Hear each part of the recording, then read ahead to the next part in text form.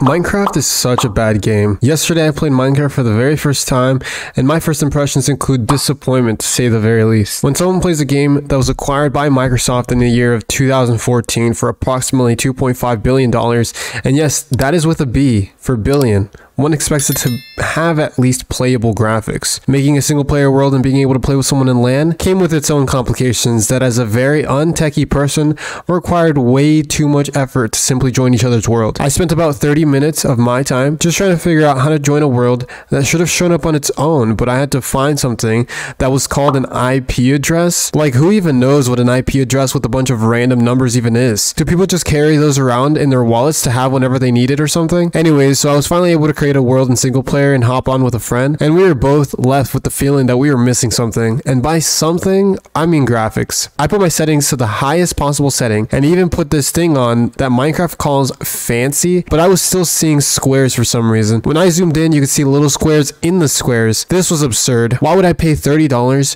for a game that has pixels all over it? It's almost as if the game was released before it was even made ready for the public. Taking a look at the release date, and one starts to wonder if it's even accurate. Was it really released more than 10 years ago, but they haven't made any progress in not only the graphics, but also the functionality of the game entirely and making it easier for people to join each other's worlds? Apart from it having pixelated graphics, we have a game that simply does not have a story or a plot. It seems like the main purpose of the game is to spawn into this randomly generated world, make a house to stay safe from the countless amount of mobs, look for resources, become stacked enough to kill the dragon, and in the end, not sure why this game has become so popular over the years when there is literally nothing to do. We take a look at other games and can immediately tell that there's a huge difference in not only the storyline, but the amount of things that one as a player or as a gamer can do.